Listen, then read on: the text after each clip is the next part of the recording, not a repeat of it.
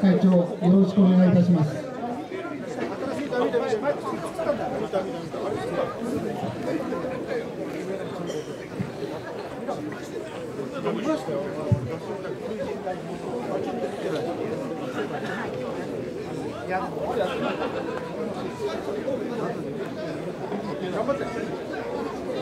えー、皆様こんにちは。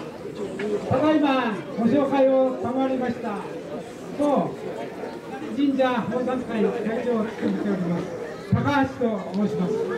えー、前会長よりにつきまして5年目に入りましたその間、皆さんの方といろいろな方とお会いすることができまして、ありがたく感謝をします。えー、神社は市民なり神社のお会であり、えー、そういうような名誉、名称ある神社でございます。えー、表の看板には、塚越神社がなっております。塚越です。これを本当の名前に戻そうということで、いろいろとこの神社と直すべきところはどんどん改良しろしようということで、役員と皆様方と相談しながら進めております。おかげさまで、いろいろな協力を、今日は市長さんも見えておりますけれども、市長さんのご協力もいただきまして、今回皆様方、会場に来ていただいていかがでしょうか。えー、だいぶ来年の年変わったのではなかろうかなというふうに私こののではなかろうかと推測するわけですこれもしてに皆さん方のご協力の浜々と感謝申し上げる次第でございます、初馬というのは、えー、今年の通り、その年の初めの馬年のことで発足したようです、え、歴史を振り返りますとかなり大昔からその初馬祭というのを行われているようでございます。当神社も、えー、約350年ぐらい前からやっているようでございます。きちんとした資料は今探しているところでございますけれども、まだ見つからない資料、えー、実はここ数年来、えー、堤先生という学校の先生で、歴史の先生が今日もお見えになっております。今日ぜひ出したいということで、えー南浦和から車椅子っていうかこう牛車で2時間半もかけて受け付けてくださっております本当に、えー、ありがたいなというふうに思っておりますこの先生のおかげでいろんなことを勉強することができましたこの近隣の歴史そしてその神社の生い立ちそれからその地域に住んでいる人柄のこと全てを教えてくださる大切です。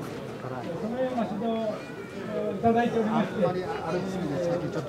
先ほど申し上げた通り、毎年変わっているかというふうに感じて。これも本当に、すみませんね、遠慮を申し上げますけれども、皆さん方のご協力の賜物と申し上げる次第でございます。前が言葉長くなりましたけれども、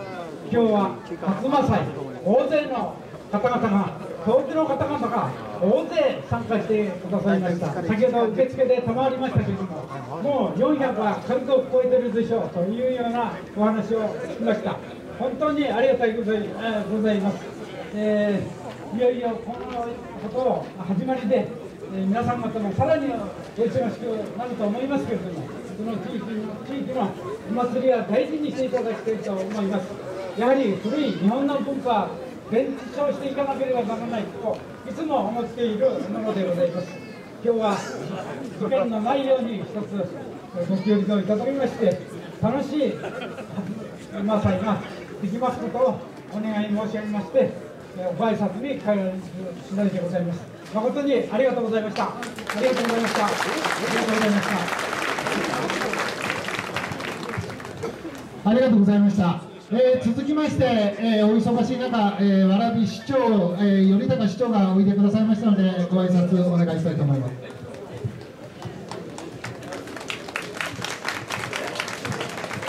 えー、皆さん、こんにちは。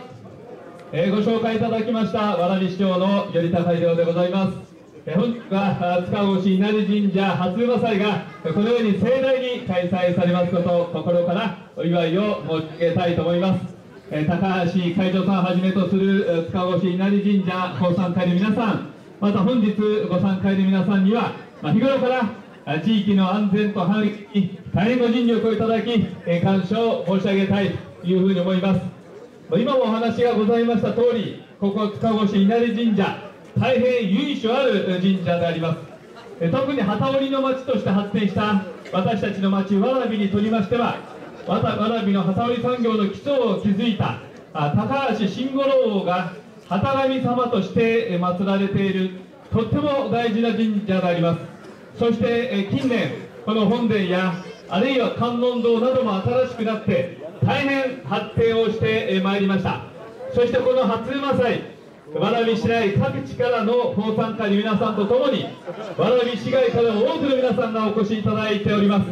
そしてこのおみこしとっても大きくて立派で重いみこしであります。みこしは重いですけれども大勢の皆さんの力があれば担ぐことができます。それはまちづくりも同じです。どうかこれからも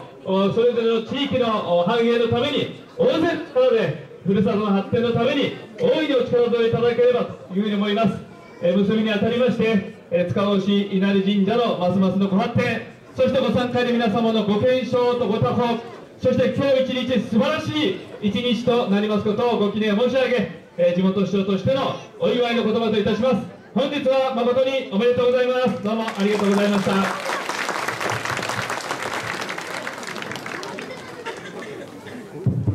ありがとうございました。えー、続きまして、えー、本来ならば、えー、衆議院議員、えー、自由民主党、えー、田中良生代議士が、えー、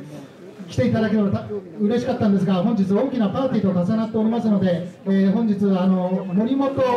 秘書がおいでいただいてますので、えー、ご紹介いたします。